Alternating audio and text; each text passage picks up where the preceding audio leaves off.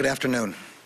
Since I became Attorney General, I have made clear that the Department of Justice will speak through its court filings and its work.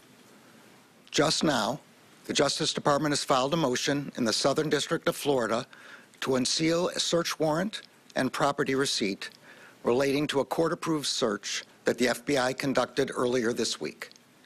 That search was of premises located in Florida belonging to the former president.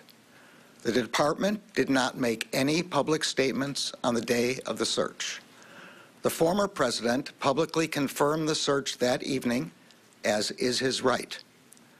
Copies of both the warrant and the FBI property receipt were provided on the day of the search to the former president's counsel, who was on site during the search.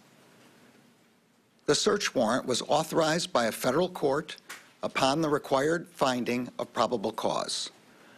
The property receipt is a document that federal law requires law enforcement agents to leave with the property owner. The department filed the motion to make public the warrant and receipt in light of the former president's public confirmation of the search, the surrounding circumstances, and the substantial public interest in this matter. Faithful adherence to the rule of law is the bedrock principle of the Justice Department and of our democracy. Upholding the rule of law means applying the law evenly, without fear or favor. Under my watch, that is precisely what the Justice Department is doing. All Americans are entitled to the even-handed application of the law, to due process of the law, and to the presumption of innocence.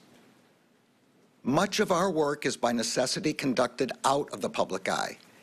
We do that to protect the constitutional rights of all Americans and to protect the integrity of our investigations. Federal law, long-standing department rules, and our ethical obligations prevent me from providing further details as to the basis of the search at this time. There are, however, certain points I want you to know. First, I personally approved the decision to seek a search warrant in this matter. Second, the department does not take such a decision lightly. Where possible, it is standard practice to seek less intrusive means as an alternative to a search and to narrowly scope any search that is undertaken. Third, let me address recent unfounded attacks on the professionalism of the FBI and Justice Department agents and prosecutors. I will not stand by silently when their integrity is unfairly attacked. The men and women of the FBI and the Justice Department are dedicated, patriotic public servants. Every day, they protect the American people from violent crime, terrorism, and other threats to their safety while safeguarding our civil rights.